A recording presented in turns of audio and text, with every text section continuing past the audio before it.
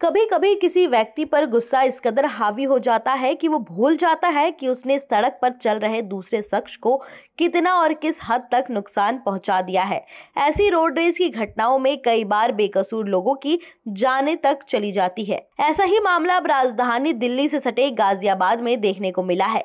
यहाँ एक कार चालक को मामूली सी टक्कर के बाद इतना गुस्सा आ गया कि पीड़ित को अपनी कार के बोनट पर तीन किलोमीटर तक घसीटता रहा। पुलिस के मुताबिक रमेश सिंह और तरंग जैन की कार एक दूसरे से टकरा गई थी। इसके बाद रमेश सिंह गाड़ी से निकले और तरन जैन को भागने से रोकने के लिए उनकी गाड़ी के सामने जाकर खड़े हो गए। लेकिन तरंग जैन ने रमेश सिंह को टक्कर मार दी और अपनी जान बचाने के लिए रमेश कूदकर उसकी कार के बोनट पर चढ़ गया। रमेश सिंह कार के बोनट पर लटके हैं। ये देखकर भी आरोपी ने गाड़ी नहीं रोकी।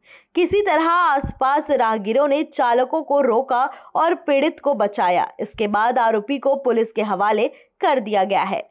सवाल यह है कि आखिर ये नशा किस चीज़ का होता है कि लोग ऐसा करते हैं? राष्ट्रीय अपराध रिकॉर्ड ब्यूरो के हालिया आंकड़ों के मुताबिक सड़क पर गुस्सा करने के मामले में यूपी सबसे आगे है। एनसीआरबी के सालाना अपराध आंकड़ों के अनुसार 2016 में यूपी में कुल चार हज़ार आठ सौ नवासी हत्याएँ हुई, जिनमें से करीब 10 प्रतिशत यानी चार सौ नवासी हत्याएँ सड़क पर गुस्सा करने के कारण हुई है।